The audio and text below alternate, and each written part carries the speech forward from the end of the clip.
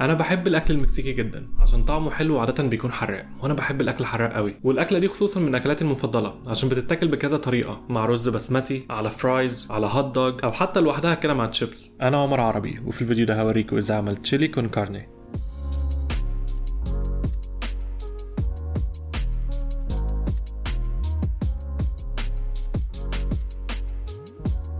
أول حاجة عملت mix التوابل بتاعت التشيلي معلقتين صغيرين كمون عليهم معلقتين صغيرين بابريكا. أنا استخدمت بابريكا مدخنة عشان تدي طعم الشوي في التشيلي. بس ممكن تستخدموا العادية. كمان حطيت معلقة صغيرة واحدة بودرة توم وبودرة بصل وزعتر وشطة. لو مش عايزينها حراقة بلاش الشطة. وقلبت كله في بعضه. ال mix ده مش بس حلو على التشيلي. ده ممكن تستخدموه على أي حاجة عايزين تدوها الطعم المكسيكي. الأكلة دي كمان بتحتاج crushed tomatoes هوريكم إزاي عملتها. قشرت نص كيلو طماطم. في طريقة لتقشير الطماطم بانكم تحطوها في مية مغلية بعد كده في مية بتلج وموضوع طويل شوية. بس لو الطماطم ناشفة زي اللي أنا استخدمتها يبقى سهل أقشرها بالبتاع اللي بتقشر البطاطس دي عادي. بعد ما قشرتها قطعتها مكعبات صغيرة وحطيتها في بولة كبيرة. وبعد ما خلصت الكمية كلها بدأت أفعصها بإيدي كده.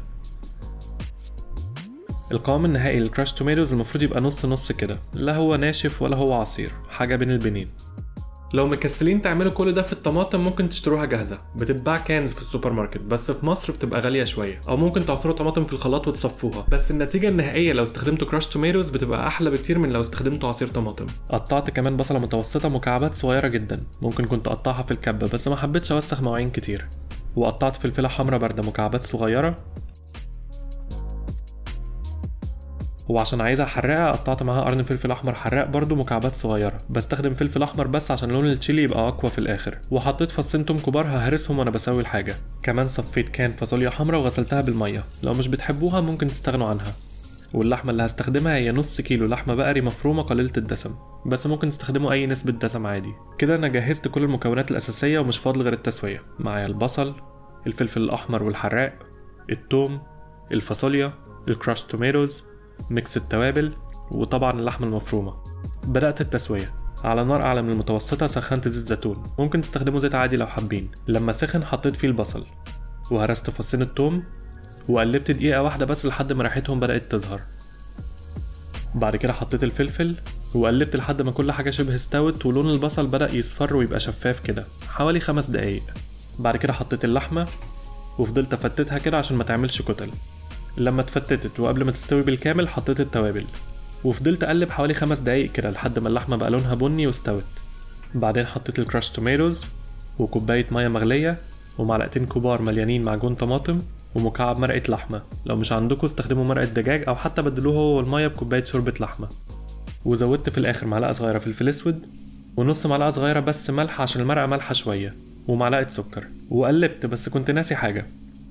الفاصوليا.